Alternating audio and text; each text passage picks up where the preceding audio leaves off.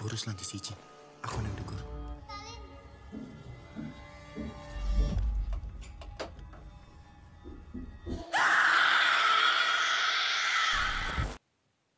Hai halo guys, makasih udah klik video ini dan selamat datang kembali di channel Film Fairs.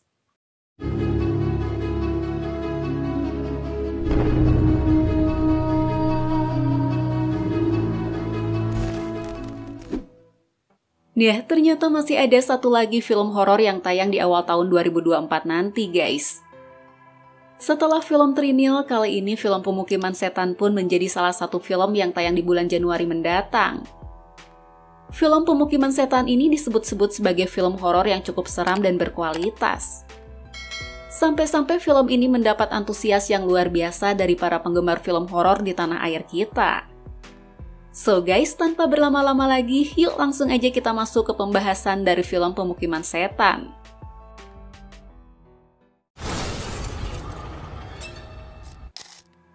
Pemukiman Setan adalah salah satu film horor yang gak hanya menyeramkan, tapi juga ada adegan-adegan aksi yang cukup menegangkan.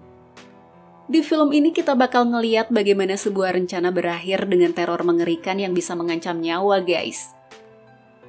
Film ini tuh nyeritain tentang empat orang anak muda yang ngerampok sebuah rumah yang menyimpan barang antik dan barang-barang berharga.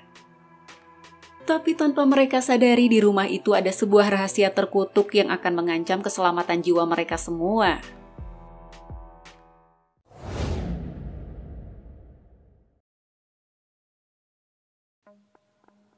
Jadi ceritanya berawal dari seorang remaja yang bernama Alin. Alin ini adalah seorang anak yang menjadi korban kekerasan keluarganya. Hal itulah yang membuat Alin memiliki trauma masa lalu yang cukup mendalam. Bahkan kondisinya pun semakin buruk karena Alin ini mengalami masalah perekonomian. Sebagai kakak, Alin memiliki tanggung jawab yang sangat besar untuk adiknya. Selain harus ngejaga dan ngerawat sang adik, Alin juga punya beban hutang keluarga yang harus ia bayar. Hutang-hutang itu ngebuat Alin menjadi semakin tertekan. Apalagi Alin diperlakukan kasar oleh orang-orang yang menagih utang ayahnya. Di bawah tekanan ekonomi itulah Alin pun terpaksa harus mengikuti tiga temannya dalam melakukan aksi perampokan. Alin sama sekali nggak berpikir panjang karena yang ia butuhkan saat ini hanyalah uang. Saat itu Alin dan tiga temannya yang bernama Gani, Fitrah dan Zia ngerampok sebuah rumah yang berada di perkampungan terpencil. Kabarnya rumah itu menyimpan barang antik dan juga barang-barang berharga. Setelah sampai di sana mereka langsung menjalani rencananya. Mereka masuk dan mulai menggeledah rumah tersebut. Ternyata benar aja di rumah itu banyak sekali barang-barang berharga yang masih tersimpan rapi seperti jam tangan, uang, perhiasan, dan juga masih ada barang-barang lainnya. Salah satu dari mereka ngingetin temannya untuk milih barang berharga yang jumlahnya banyak dan ngambil secukupnya aja. Ambil secukupnya, jangan sampai kelihatan uang ini. Tapi ternyata keputusan mereka untuk ngerampok rumah tersebut bukanlah keputusan yang tepat. Di dalam rumah itu ada rahasia terkutuk yang sama sekali nggak mereka ketahui sebelumnya. Ada banyak hal aneh yang mereka alami dan mereka temukan saat sedang melancarkan aksi perampokannya di rumah tersebut. Seperti ada sosok yang tiba-tiba lewat di belakang Alin dan ada tulisan aneh yang mereka temuin di langit-langit rumah.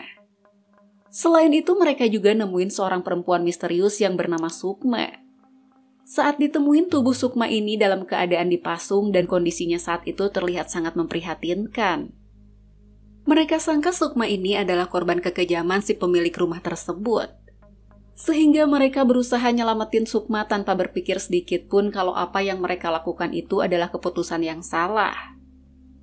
Ternyata keputusan mereka untuk ngebebasin Sukma menjadi awal dari teror yang mengancam keselamatan mereka semua kehadiran Sukma ngebuat rencana mereka jadi berantakan. Nah, di tengah teror yang mereka alami muncullah seorang pria yang bernama Urip. Sepertinya Urip ini mengetahui sesuatu tentang siapa Sukma dan juga kutukan yang ada di rumah tersebut. Urip ngasih tahu mereka kalau perempuan yang mereka bebasin itu sangatlah berbahaya. Perempuan yang kalian lepaskan itu sangat berbahaya. Bahkan kekuatannya lebih dari apa yang mereka alami hari itu, guys. Dan apa yang Urip katakan itu memang benar adanya. Perempuan yang mereka bebaskan justru menyerang mereka dengan sangat sadis. Sebenarnya Sukma ini siapa dan kenapa ada beberapa orang yang sepertinya menyembah Sukma? Saat itulah Urip ngebantu Alin dan teman-temannya untuk ngelawan kekuatan jahat yang ada di sana. Mereka pun berjuang untuk bisa keluar dari ancaman tersebut dan berusaha untuk bertahan hidup dari teror yang sangat mengerikan.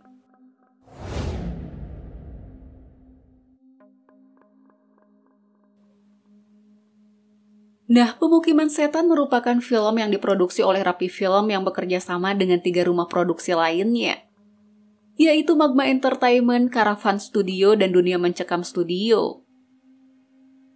Film ini digarap oleh sutradara Charles Gozali yang sebelumnya sukses dengan film Kodrat yang tayang pada tahun 2022 kemarin, guys. Selain itu, Charles berhasil meraih penghargaan sutradara terpuji Festival Film Bandung 2023 dan ia juga berhasil meraih penghargaan sutradara terbaik genre horor Festival Film Wartawan Indonesia 2023. Film Pemukiman Setan ini dibintangi oleh Maudi F. Rosina, Adinda Thomas, Bisma Mulia, Dava Wardana, dan juga beberapa cast lainnya. Film ini menjadi kolaborasi kedua antara Charles Gozali dan Maudi F. Rosina. Sebelumnya Maudi juga sempat bermain di film Kodrat yang merupakan film yang digarap oleh Charles Gozali. Pemukiman Setan sendiri sudah lebih dulu menggelar ASEAN Premier di acara Jogja Netpack ASEAN Film pada tanggal 1 Desember 2023 kemarin, guys. Film ini akan memberikan sentuhan-sentuhan baru sehingga nantinya film ini memberikan pengalaman yang berbeda dari film-film horor yang sebelumnya. Film ini juga akan mengajak penontonnya pada sebuah misi dalam menguak sebuah misteri yang mengancam keselamatan jiwa, guys. Meski pemukiman setan ini adalah film horor, tapi film ini akan menghadirkan aksi-aksi yang menantang. Sehingga film ini akan menjadi sajian yang tidak hanya menyeramkan, tapi juga menegangkan sepanjang filmnya. Dengan latar belakang yang penuh misteri dan mencekam, film ini berusaha memanfaatkan kekayaan mitologi lokal untuk menambahkan dimensi baru pada genre horor. Selain itu, film ini juga menyajikan visual efek yang memukau dan memberikan kengerian lewat adegan-adegan sadis dan penuh darah. Sehingga film ini bisa dibilang bukan hanya sekedar film horor biasa, tapi juga film horor yang seram, mengerikan, dan penuh aksi yang menegangkan. Nah, itulah tadi pembahasan dari film Pemukiman Setan. Dan film ini tayang di bioskop Indonesia pada tanggal 25 Januari 2024, guys. So, sekian dulu pembahasan film kita kali ini. Jangan lupa jaga kesehatan dan sampai ketemu lagi di video selanjutnya ya guys. Bye-bye!